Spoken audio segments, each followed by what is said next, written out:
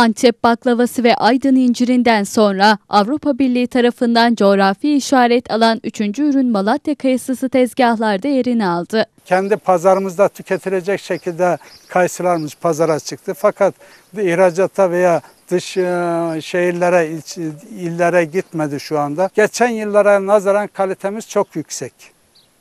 Çünkü e, bilindiği bu yağışlı bir sezon geçirdik. Yeşilyurt Ziraat Odası Başkanı Doğan Solmaz, fiyatların geçen yılla aynı olduğunu söyledi. Parakende belki 10 lira 7 lira arasında satılmaktadır. Ne kadar olsa da çiftçiden 4 lirayla 5 lira arasında almaktadırlar. Bu da gösteriyor ki e, geçen senenin hemen hemen aynı fiyatlarda kayısı gitmekte. Üreticiler Hasan Bey ve Kabaşı türü kayısıları pazara yeni yeni getirmeye başladı. E, Baski kale tarafında hasat erken başlar.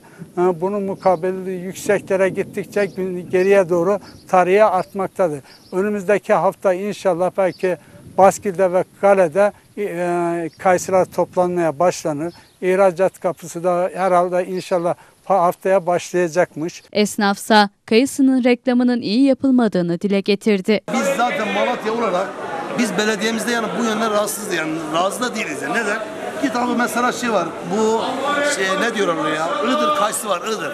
Adam orada belediye düzgünce ne şeyler yapmış biz gittik abi gördük mesela adam böyle kayısı heykel yapmış böyle ve ondan sonra güzel reklamları koymuş abi.